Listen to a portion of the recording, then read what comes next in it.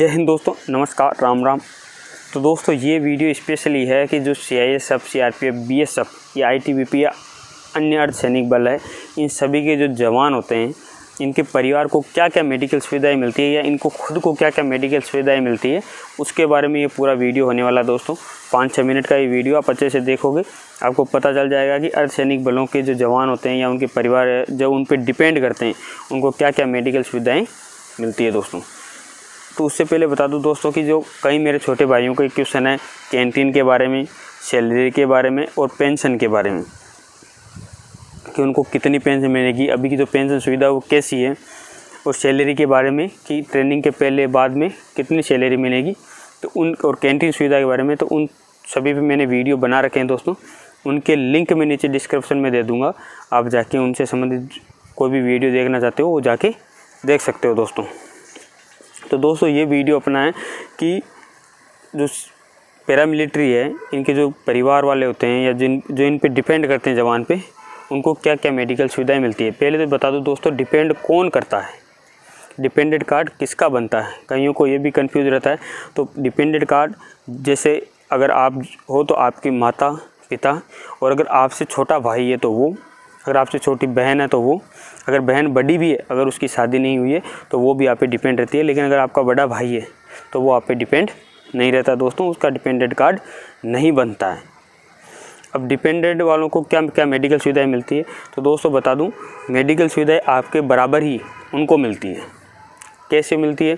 कि अगर मान लो आपका परिवार वाला या आपके मदर फादर या आपके भाई, बहन, अगर किसी का मेडिकल इलाज चल रहा है या बड़ा इलाज है तो दोस्तों, जो आपका डिपार्टमेंट होता है, उसके जो सेंटर में जो हॉस्पिटल के जो डॉक्टर होते हैं, आप उनको वो रिपोर्ट दिखाते हो, उनको जाके दिखाते हो, वो वहाँ से आपको ट्रांसफ़र कर देते हैं, जिस हॉस्पिटल में आपको इलाज करवाना, उस हॉस्पिटल में।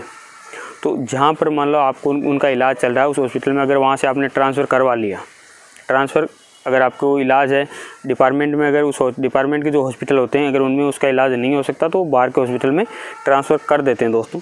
तो जब वो वहाँ से ट्रांसफ़र कर देते हैं, उसके बाद का जो बिल होता है दोस्तों तो दो मतलब आप कैशलेस भी मतलब आपका डिपार्टमेंट भी पूरा बिल पे कर सकता है, और अगर आप भी वो अगर बिल मान लो जैसे पे करते हो, जैसे आपका मान लो खर्चा आ गया एक लाख तीस हज़ार रुपये आपके मदर का, कुछ भी ऐसा ऑपरेशन कराया जिसका एक लाख तीस हज़ार या चालीस हज़ार या कुछ भी ऐसा खर्चा हुआ है तो उसका टोटल बिल पहले दिन से लेके आखिरी दिन तक का मतलब एक एक टेबलेट का सभी बिल लेके वो अप्रूव हो गए हॉस्पिटल से कि हाँ भाई ये बिल सही है।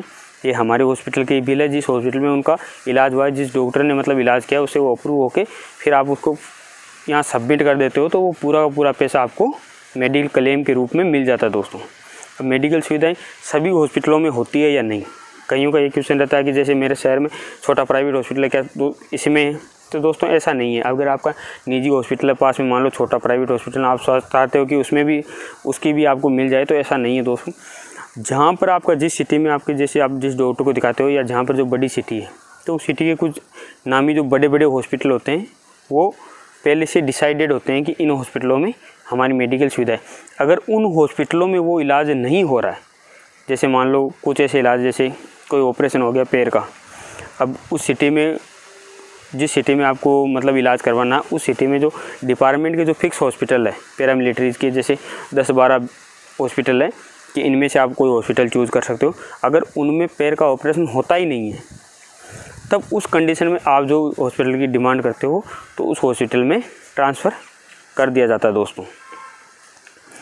तो तब आप बाहर हॉस्पिटल में करा सकते हो, नहीं तो अन्यथा होता क्या है कि जैसे आप वहाँ गए आपकी जो बीमारी है, आपकी जैसे किसी भी मेडिकल आपकी कोई भी बीमारी है, या आपके मदर फादर या भाई, छोटे बहन को, उनको अगर कोई प्रॉब्लम है मेडिकल में तो अगर आप इलाज करवाते हो जैसे पैर का, हाथ का, किसी का भी हिस्से का, और वो सुविधा है उन हॉस्पिटल में। जो हॉस्पिटल नामी हॉस्पिटल होते हैं, छोटे हॉस्पिटल नहीं होते दोस्तों, शहर के बड़े से बड़ा हॉस्पिटल होता है उसमें, जिसमें बढ़िया से बढ़िया सुविधा होती है, वही हॉस्पिटल होते हैं। अगर उनमें वो सुविधा है तो दोस्तों उन्हीं में वो इलाज होता है। तो उसका जो पैसा होता है वो आपका डिपार्टमेंट पे करता है। अगर उस समय पे नहीं करता, अगर उस समय आप पे करते हो तो जैसे वो बिल आप, वहाँ से टोटल जो बिल है समरी है, वो टोटल बिल अप्रूव होके हॉस्पिटल से। अगर आप डिपार्टमेंट में आके लगाते हो तो आपको यहाँ पर वो पूरा का पूरा पैसा मिल जाता है दोस्तों। इसके लिए कंडीशन एक ही है कि अगर जिस बंदे का आपको जैसे डिपेंडेंट है आप पे, उसका अगर इलाज करवाना है तो उसके लिए एक बार आपको, आपका जो डिपार्टमेंट का जो डॉक्टर होता है डिपार्टमेंट में जो डॉक्टर होते हैं, उनको उसकी रिपोर्ट पेश करके उससे वो ट्रांसफ़र करवाना होता है। जो ट्रांसफ़र का जो फॉर्म होता है, वो मेन ज़रूरी होता है कि हाँ भाई इसको ट्रांसफ़र किया गया है। उसके डिपेंड पे आपको वो पूरा का पूरा पैसा मिलता है दोस्तों।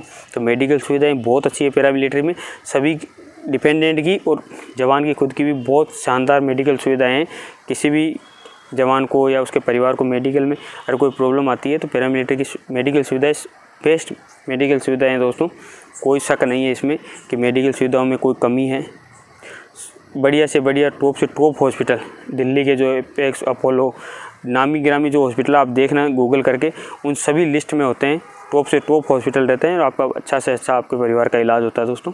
तो मेडिकल सुविधाएँ बहुत अच्छी है और और किस बारे में आप जानकारी जानना चाहते हैं, इस पर कमेंट बॉक्स में लिख दीजिए।